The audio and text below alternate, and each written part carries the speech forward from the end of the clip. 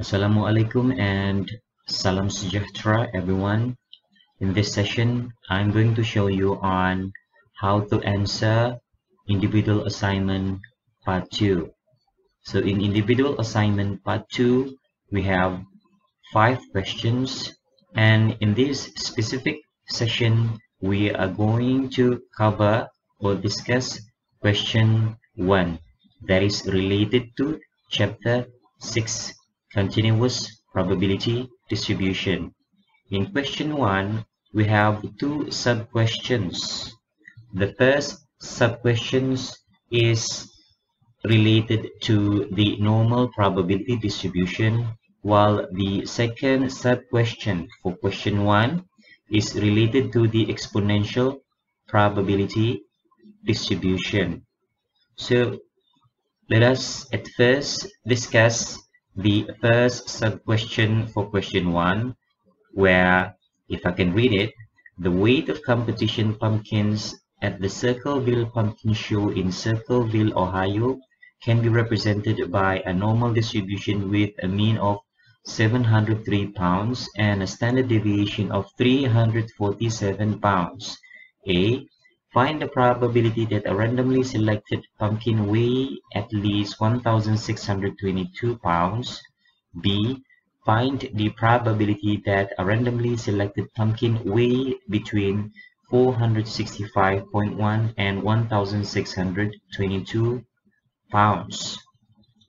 So as I mentioned just now, in order for us to deal with or to answer sub question 1, we have to refer to the normal probability distribution. So the normal probability distribution is the most important distribution for describing a continuous random variable and it is also widely used in statistical inference. In fact, this normal probability distribution is used or related to many other chapters in business statistics. For example, apart from chapter 6, we also use normal probability distribution to discuss chapter 7, chapter 8, chapter 9, and chapter 10, which is the hypothesis testing. So this normal probability distribution has been used in a wide variety of applications. For example, we use the normal probability distribution to estimate the probability for heights of people, scientific measurements, test scores, amounts of rainfall, and for many other applications. In order to estimate the normal probability distribution, First and foremost, we have to convert the normal probability distribution into the standard normal distribution. So in order to convert the normal probability distribution into standard normal distribution, we have to use this formula where z, which is the standard normal distribution value, is equal to x minus mu divided by standard deviation. So z is the z value or the standard normal distribution value while x is the normal distribution value that we want to estimate the probability from. Mu here on the other hand represents the mean value of the estimation divided by standard deviation for the estimation. So here we can think of z as a measure of the number of standard deviation x is from our mean value or from the mu. To make it more easy to understand, let us look into one example. So here we have an example for Pepzone. Pepzone sells auto parts and supplies including a popular multi-grade motor oil. In a typical day, Pepzone managed to sell an average of 15 gallons with a standard deviation of 6 gallons. What is the probability that Pepzone managed to sell 20 gallons of motor oil in a day by assuming that the data is normally distributed. So this term here, assuming that the data is normally distributed, helps us to uh, determine that we have to use the normal probability distribution formula in order to determine the probability for this specific case, for this specific situation. So, as I mentioned before this, the first step that we have to take, the first step that we will take in order to determine the probability is to convert the normal distribution value into the standard normal distribution value. In other words, we will convert the x value into z value. So z is equal to x minus mu over standard deviation. So we need to have these three important informations in order to determine the probability. So as we know, x is equal to 20, while mu, which is the mean value of our distribution, is equal to 15 divided by 6, which is the uh, standard deviation for the estimation. So here we have z value that is equal to 0 0.83. So step number two is to find the area under the standard normal curve to the left of z that is equal to 0.83. In other words, step two is associated to finding the value of the probability based on z that is equal to 0.83.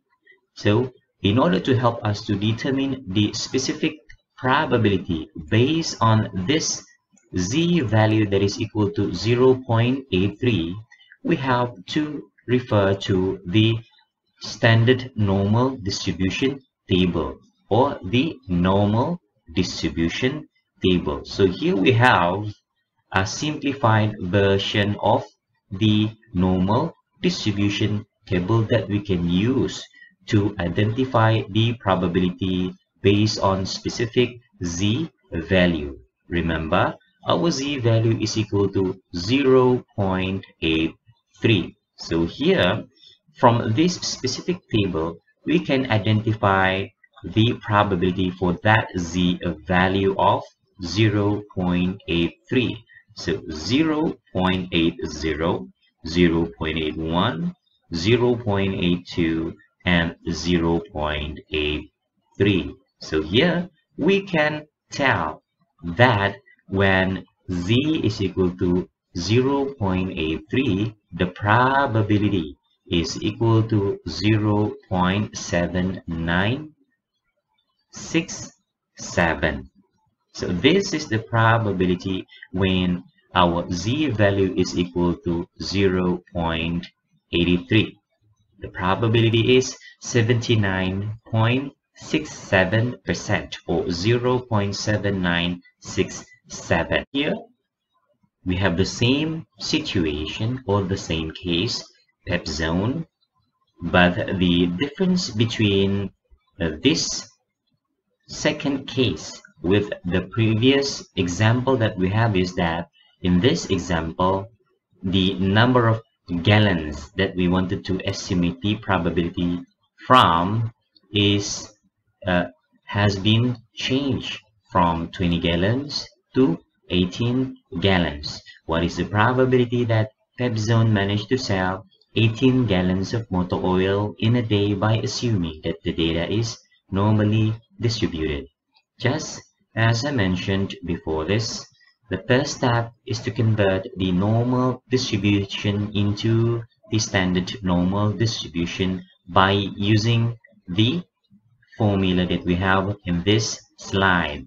Z is equal to x minus mu over standard deviation. So here, instead of 20, our x is now equal to 18 minus 15 over 6 now we have z value that is equal to 0 0.50 so step number two is to determine the probability based on this specific z value of 0.50 so in order to determine the probability based on this specific z value, we can refer to the normal distribution table. So here we have a standardized, we have a simplified normal distribution table that can uh, be used to determine the probability for z that is equal to 0.50. So here, if you look into the circle, you can identify or see the probability value when z is equal to 0.50. More specifically, the probability when z is equal to 0.50 is 0.6915 or 69.15 percent. So this is the probability when z is equal to 0.50. In other words, this is the probability when the number of gallons is equal to 18 gallons if we are referring to the x value instead of the z value. So, what is the probability that Pepzone managed to sell between 18 gallons and 20 gallons of motor oil in a day by assuming that the data is normally distributed. So if you look into this question, it is actually related to question 1b where you are required to determine the probability in between two x values. In this case, 18 gallons and 20 gallons. Since we know that the probability value for 18 gallons is equal to 0.6915 while the probability value for 20 gallon is equal to 0.7967 thus the probability between 18 to 20 gallons is 0.7967 minus 0.6915 that is equal to 0.10 5, 2. In other words, the probability that Pepzone managed to sell between 18 gallons and 20 gallons of motor oil in a day by assuming that the data is normally distributed is equal to 10.52%. So that is how we answer question 1. In order to answer question 2 or sub question 2 under question 1 we have to refer to the exponential distribution so if I can read it again the customer arrived at a drive-through teller window of a bank they stay in line when the teller is busy the service time is exponentially distributed with a mean of 4 minutes. A. What is the probability that the next customer in line will take longer than 7 minutes to be served? B. What is the probability that the next customer in line will take less than 8 minutes to be served? And C. What is the probability that the next customer in line will take between 3 and 6 minutes to be served. So as I mentioned before this, in order for us to answer sub-question 2, we have to refer to the exponential probability distribution. So the exponential probability distribution, if you can read from the slide, is useful in describing the time it takes to complete a task or the time it takes to complete a certain process. So these exponential random variables can also be used to describe time between vehicle arrivals at two toll booth, time required to complete a questionnaire, the distance between major defects in a highway. Basically, this exponential probability distribution is used to determine the probability for certain time length or the probability based on certain distance or certain intervals. So in the exponential probability distribution, there is a term called the density function. So the density function is equal to 1 over mu multiplied by E. In this case, E represents the Euler's number. Okay, E represents the Euler's number that is equal to 2.71828 to the power of negative x over mu.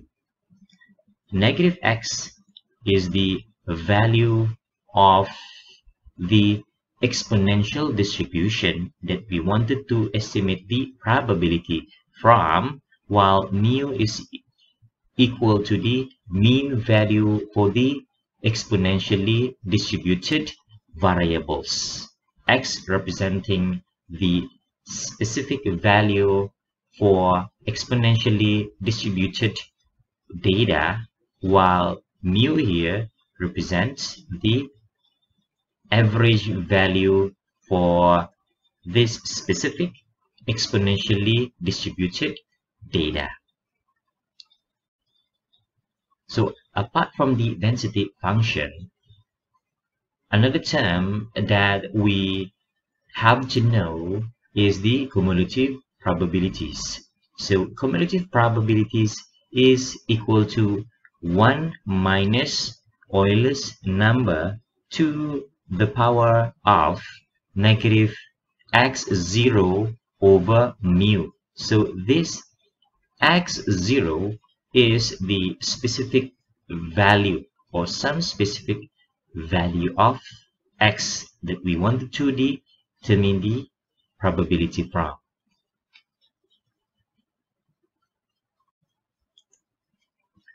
In order to help us to understand even more about the exponential probability distribution, here we have an example. Al's full service pump.